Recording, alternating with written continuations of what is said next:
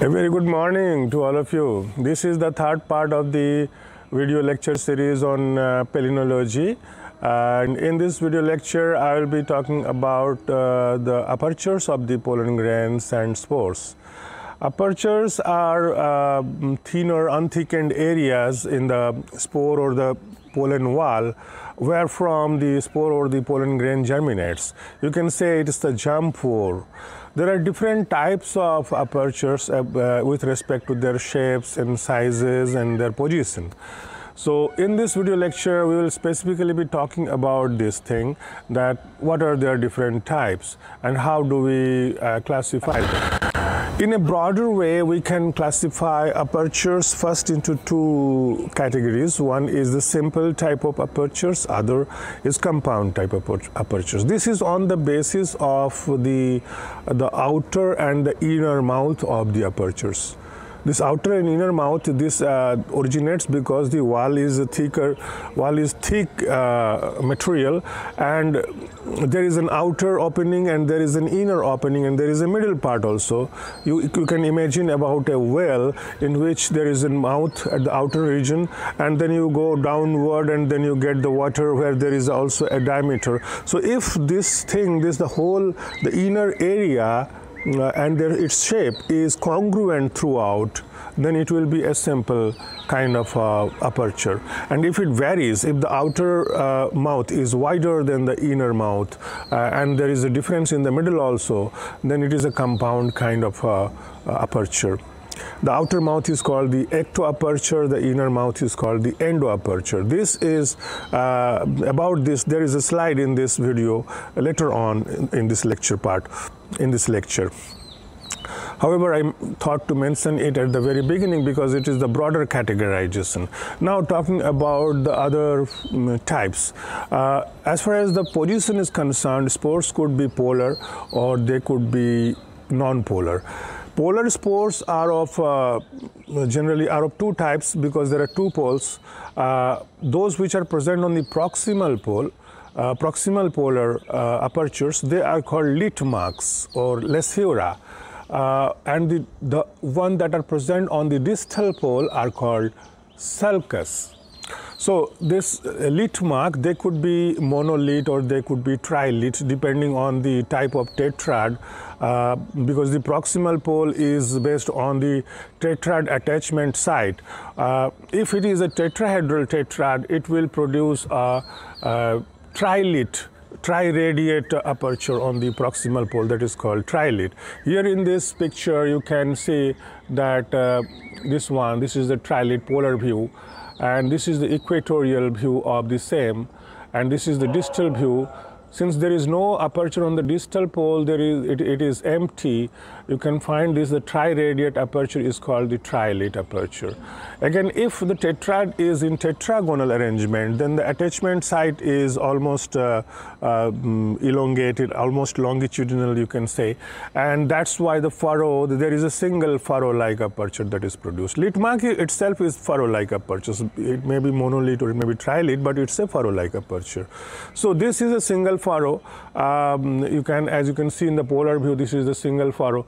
This is proximal polar view, and this is uh, uh, equatorial view major equatorial axis through through the major equatorial. You can also view from this side, from this side that will be another equatorial view, minor axis equatorial view and this is the distal polar view in, uh, which you do not see anything.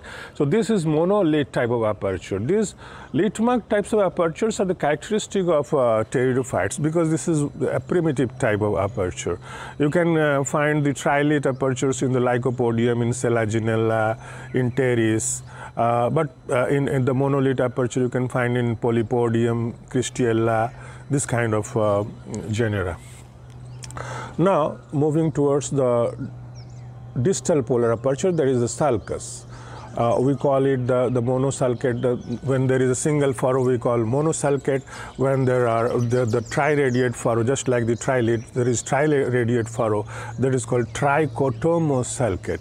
So uh, usually this sulcus, uh, monosulcate is found in the uh, Gymnospermous genus Cycas, whereas the trichotomous sulcate is very common. It is found in um, angiosperms. Uh, Uh, Elaeis guineensis is one example of that.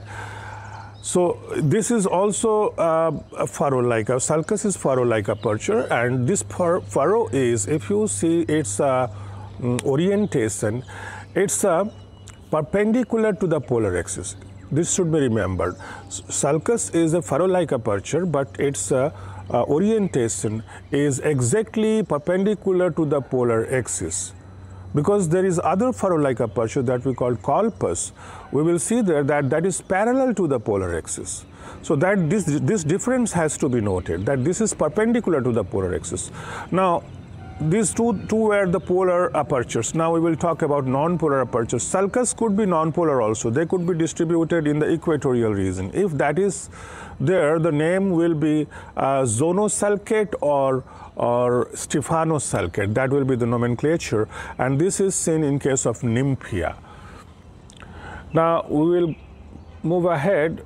I was talking about the colpus. Colpus are also uh, colpi, colpi, rather you can say, that is the plural. Uh, these are also furrow-like apertures. Usually they are present in, in number of three, uh, equidistantly located. And elongated furrow-like apertures, uh, mm, and they are parallel to the polar axis. You can see there is a distal pole, there is a proximal pole on the top, there is a distal pole on the uh, bottom of this uh, structure drawn here, and the apertures are along the polar axis that is parallel to the polar axis. So these kind of apertures are called uh, tricolpate. This condition is called tricolpate condition. There could be various uh, variations of this.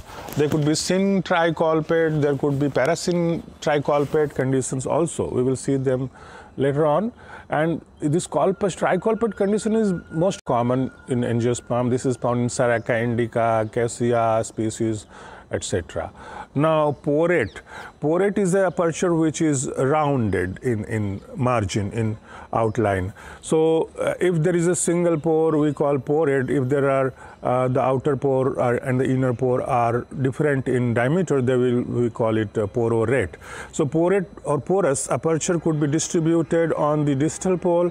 They may be singly present or maybe many pores may be present all along the distal region or equatorial region or globally. So accordingly, if they are present singly, uh, we simply call it porous and if they are present globally we call it uh, pantoporous.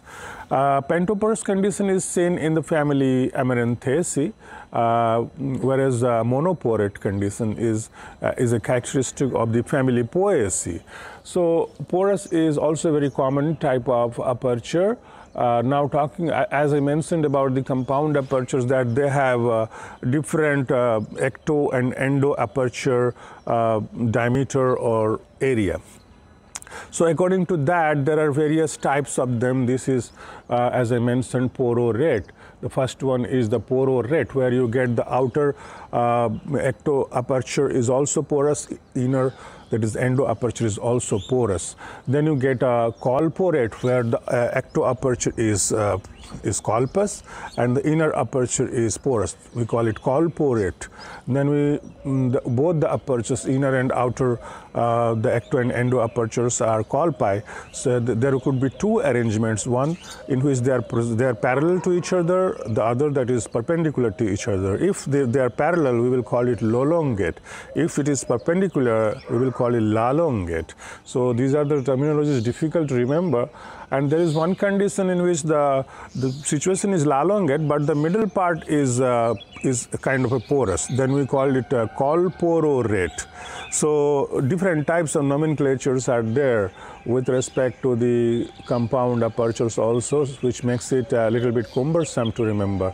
Now, as I was talking about that, the uh, uh, uh, colpus have many different variations. Uh, this is a tricolporate condition, the first one that is tricolp. You can see there is a colpus, uh, ecto aperture is colpus, the inner aperture is porous. So this is colporate and there are three. So this is tricolporate situation. And now in this, the uh, figure B, where you see that uh, this is the distal polar view actually, where the colpi, they have further proceeded and gradually they merge at the distal polar end. The three colpi merge at the distal fuse at the distal polar end, producing this kind of uh, situation. This is called syncolpate condition. And if the if the furrow is colporate, we will call it syncolporate condition. So uh, this is called parasyncolpate when when while moving towards downward the colpi they get branched. They, they get dichotomously branched and the branches fuse. And because of that there is a triangular area that is left behind like an island. Then the situation this is called parasyncolpate condition. This is found in Cassia sophera so uh, this was all about uh, mm, apertures. Hope you like this video and if you really like it, why don't you press the like button first and then share it, subscribe it, and press the bell icon also. Thank you so much for watching.